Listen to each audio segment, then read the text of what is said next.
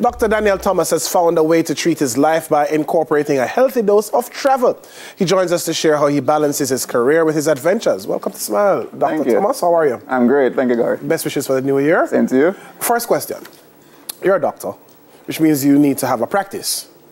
How do you travel as much as you do and still maintain a practice and earn?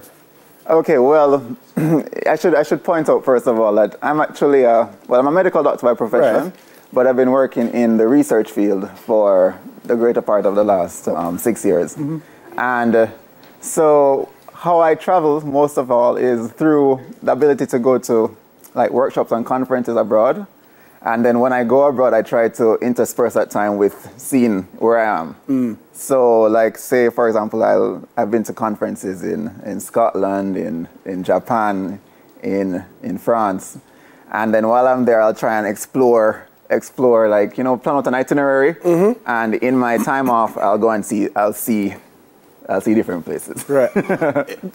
so I've got to ask a very cheeky question. Do you search for conferences in places that you've never been? So you're like, all right, I've never been to Madagascar.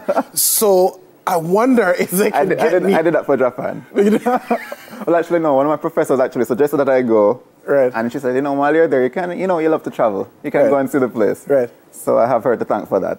Good. Um, but yeah, I do. Actually, once I'm going to somewhere, I actually try and look around and see what's there to do, Mm-hmm. and I try to make my own little travel itinerary while I'm there to to make sure the trip is not just about um, work. Yeah. Is it expensive? Because do you blow your, your, your per diem? Well, I try to be economical, um, and I find ways to save while there because you know you don't always have to splurge when you're abroad. Um, you, sometimes you just want to see something new, you want to travel, Right. Um, but you don't have to go go large per Right, se. Yeah. right. You mentioned Scotland. You, men- you mentioned Japan. Yeah. I'm sure there are lots of other places. Uh, but what's the most memorable? I mean, you don't necessarily have to pick one. Maybe two.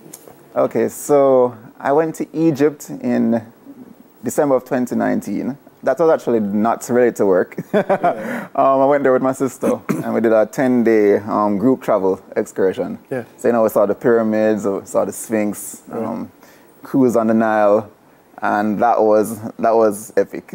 Would you return? I would. Um, maybe not yet, but definitely somewhere I'd want to go back to. Um, also, you know, scuba dived in the in the Red Sea Yeah. things like Because that. it's pretty dense, isn't it? Yeah, it is. Yeah. It is. So how describe No, that? no, no, no, that's, that's, that's the, no, no, the Red Sea's not that dense. Is that another one you're thinking, where it floats? Yeah. No, man, that's not the Red Sea. Yeah, Okay. yeah, yeah. Yeah, but I mean,